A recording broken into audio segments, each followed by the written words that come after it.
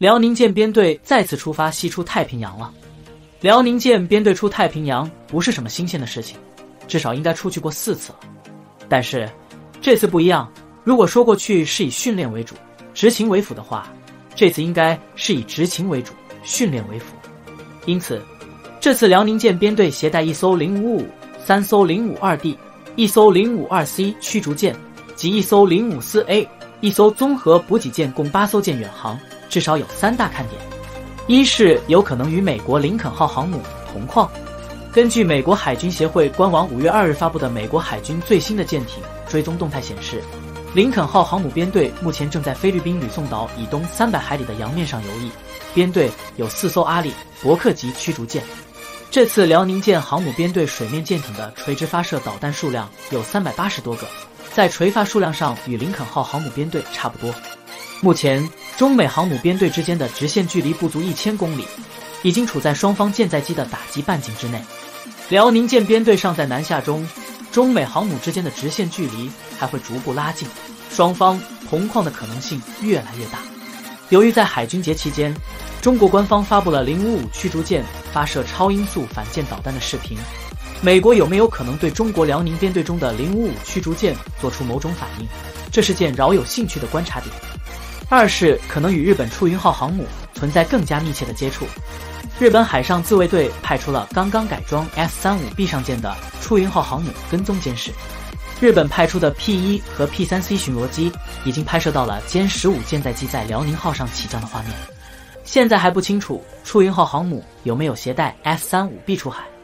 如果出云号这次携带了 F 三五 B 出海，标志着出云号已经形成了航母战斗力，这是中国需要密切关注的。那就有可能出现中国歼十五与日本 F 三五 B 在空中同场竞技的情况。当然，这对我们来说是个难得的锻炼和测试的机会。如果出云号没有携带 F 三五 B，说明它还没有形成航母战斗力。不管怎么样，我们得到了一个近距离观察出云号航母最新情况的机会。三是辽宁舰训练的具体海域是不是是更加具有反台独的针对性？一个时期以来，美国派出六名议员窜访台湾，民进党当局和岛内台独组织炒作非法无效的旧金山合约，鼓噪台湾地位未定论，散布两岸互不隶属言论。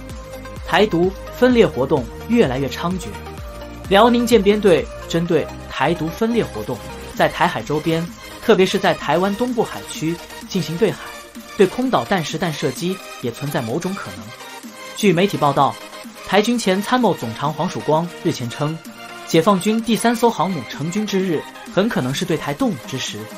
黄曙光认为，美军分析解放军可能在二零二七年攻台的说法有其根据。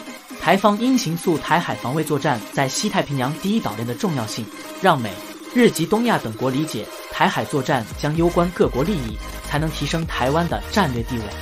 他首次透露，自己担任台海军司令时曾应邀到夏威夷出席典礼，由美方将领问及大陆打台湾的时间点。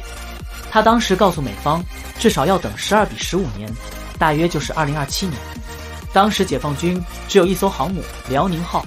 这几年又多了山东号，六年后应有第三艘航母。换句话说，第三艘航母建好，可能就是犯台时间点。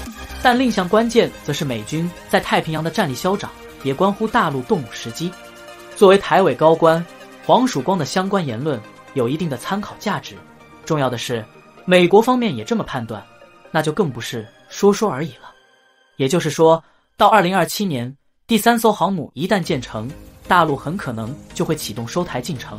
如果真是如此，那感情也不错，到时候可以坐着高铁去台湾，到日月潭转转了。